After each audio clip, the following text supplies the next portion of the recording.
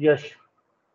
Hello friends, welcome to the channel Physics by IITians. We are back with another interview question and this question was asked in Shiv Nadar University this year. What is the question? The question is what will happen to an ice if you put it inside a microwave oven? So to answer this question, we should know about the working of microwave. So what is the region of the working of a microwave? The region of operation for the microwave is the microwave region. And this microwave region is related to the rotational energy of the molecular spectroscopy. So we should know about the rotational energy levels and we should know about the molecules which are capable of doing rotational spectroscopy. So we should know more details. So let's start today's video. So molecular spectroscopy, whenever we are studying molecular spectroscopy, we don't get discrete energy levels. Rather, we get bands of energy levels. These discrete energy levels we are getting for atomic spectroscopy like hydrogen atom. But in case of molecular spectroscopy, we get bands of energy levels because within a certain electronic energy levels, there are number of vibration energy levels and within one vibrational energy, there are different rotational energy levels. So there are much more transitions of rotational vibrational levels and these transitions all over will generate this band structure of the molecular spectra. And this all have been discussed in rotational um, lecture vibrational in spectroscopy lecture individually. Please look uh, watch that video. And the approximation which we here we assume that is the born oppenheim approximation where uh, we have we don't take the individual uh, interaction between the electronic levels, vibrational levels, rotational levels. Rather, we take it individually because their ranges are different. So they are not affected by each other. And to a good approximation, we take the total energy of the atom or molecule is E equals to EE plus EV plus ER, where EE is the electronic energy level, EV is the vibrational energy level, ER is the rotational energy level. And we neglect here the mutual coupling between the different types of motion. Now, we should understand when a pure rotational spectrum can arise. And we will consider only the dipolar molecule for the simplest case because the molecule which is dipole only the diatomic that is only two atoms are present. Now suppose this diatomic molecule is a polar molecule. Polar molecule means it has some permanent dipole moment. So now this suppose this dipole moment is rotating. So the direction of rotation is always changing during its rotation. It can be like this way. It can be like this way. It can be like this way. So at a different instance, it have different directions of its dipole moment. Now, according to the EM theory, an oscillating dipole can lead to the emission of radiation and this radiation will lead to generate the rotational energy levels or rotational spectrum. So what is the conclusion? The pure rotational spectrum can arise only in the case of polar molecule. Look here, this is the rotational spectrum. Look here, this is, they are equally spaced.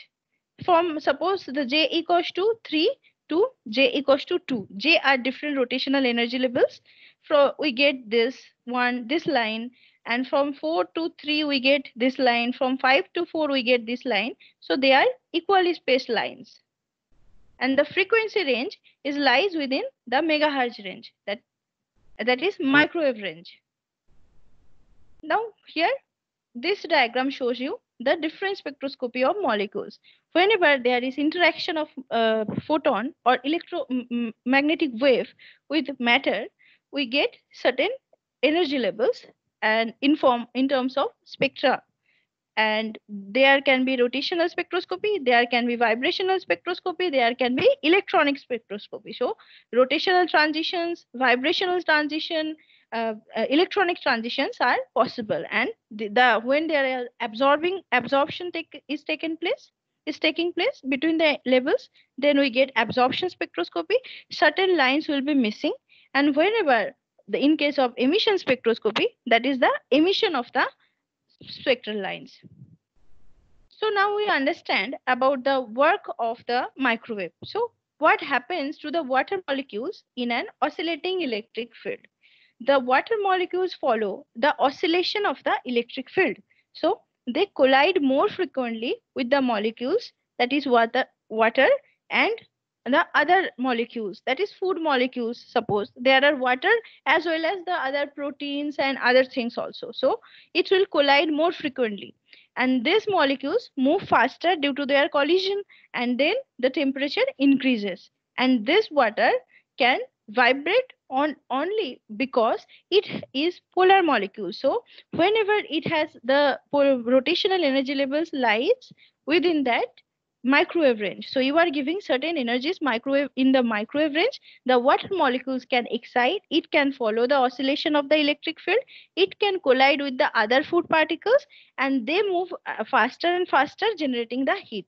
So this is the schematic diagram of the oscillating field and this is the follow uh, rotation of the H2O molecule.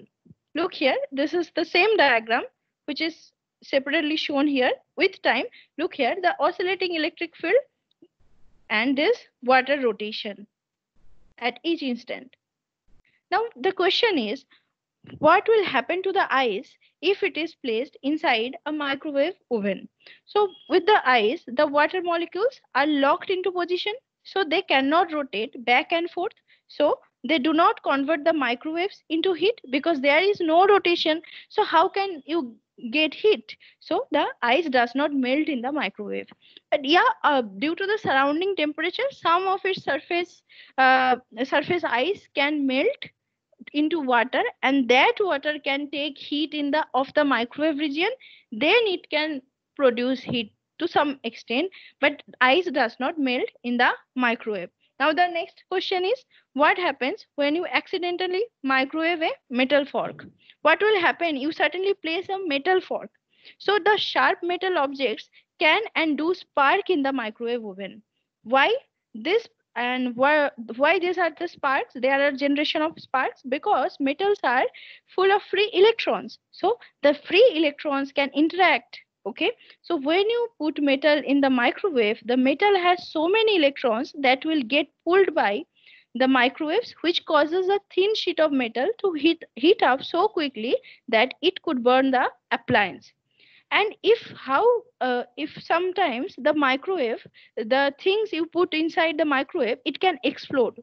When it can explode? So some items can explode while being heated in a microwave. These would be sealed items containing water like an egg. Suppose you put an egg to the microwave oven. What will happen? The water is heated until it boils. So steam creates pressure until them in the item. So the water inside the egg is heated and it will create pressure. But the egg, due to its shell, uh, egg shell, it will be sealed. So it is shielded. Now the pressure cannot go out so it will explode. So st steam create pressure until the item is not strong enough to contain the pressure. Then whenever the pressure cannot be tolerated it will explode. So you should not place an egg inside your microwave oven. So here the interview question was only about the ice but i have also discussed the metal concept and some kinds of thing uh, food which are sealed and cannot uh, uh, uh, tolerate the pressure of the of the heat then it can get also go to explosion go for an explosion. Okay? Hopefully you understand today's video. If you find it helpful don't forget to like it share it and subscribe to the channel. If you want to uh, support us you can support by clicking this link that is given in the description box. Thank you